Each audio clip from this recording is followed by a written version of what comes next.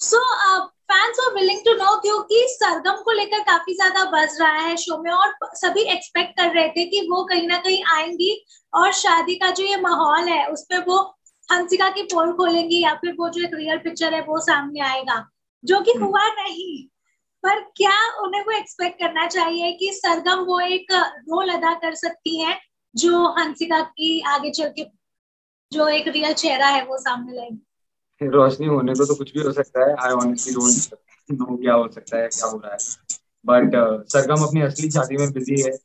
And we are all very happy for तो अभी तो वो फ़िलहाल नहीं आ रही है वापस कुछ दिनों तक। But you never know Thank you so much, Akash, for joining with us on Bollywood Spy. We wish you everything luck. Lastly, क्या कुछ कहना चाहेंगे फैंस के लिए? What should they expect? कि क्या एक नया ट्विस्ट एक्सपेक्ट किया जा सकता है?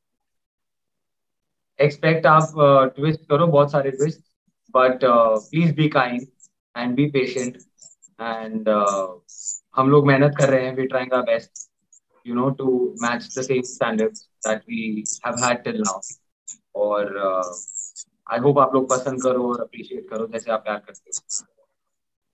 Thank you so much Akash